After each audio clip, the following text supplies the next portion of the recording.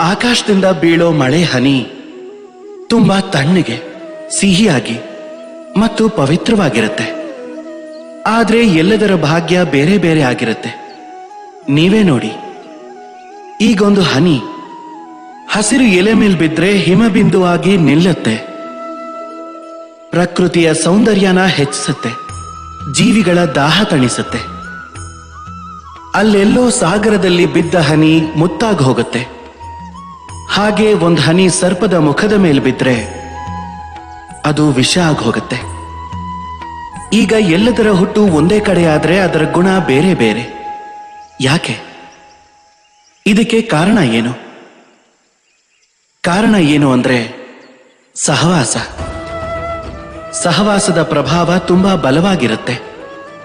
ಬೇಕಂದ್ರೆ ನಿಮ್ಮನ್ನ ಆಕಾಶದ ಮೇಲೆ ಇರಿಸುತ್ತೆ. ಬೇಕಂದ್ರೆ ನಿಮ್ಮನ್ನ ಪಾತಾಳಕ್ಕೂ ತಳ್ಳುತ್ತೆ. ಈಗ ಮಳೆ ನೀರೇನು ಇದನ್ನ ಆಯ್ಕೆ ಮಾಡಕ್ಕಾಗಲ್ಲ, ತಮ್ಮ ಸಹವಾಸ ಏನಿರಬೇಕು, ತಮ್ಮ ಭಾಗ್ಯ ಏನು ಅಂತ. ಆದ್ರೆ ನಾವು ಮನುಷ್ಯರು ತಾನೆ. ನಾವಂತೂ ನಮ್ಮ ಸಹವಾಸನ ಆರಿಸ್ಕೋಬಹುದು. ಅದಕ್ಕೆ ಯೋಚನೆ ಮಾಡಿ ಸಹವಾಸನ ಆರಿಸ್ಕೊಳ್ಳಿ.